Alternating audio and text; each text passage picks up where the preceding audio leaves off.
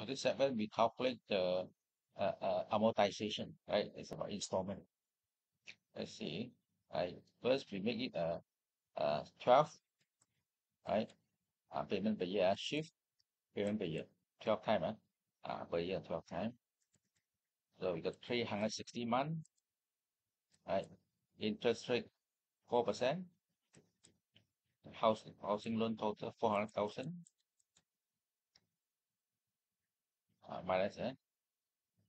Uh, so, okay. Yeah.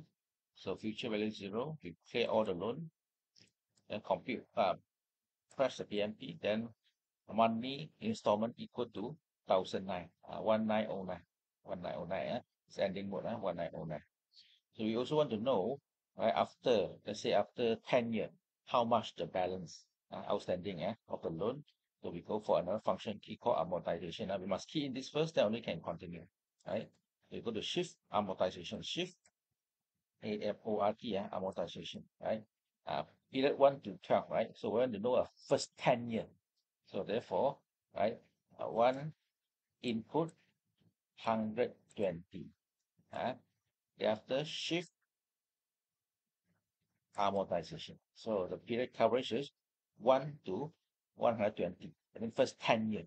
Uh, first 10 year, the accumulation uh, of uh, the loan. Uh, see a display, equal sign uh, display.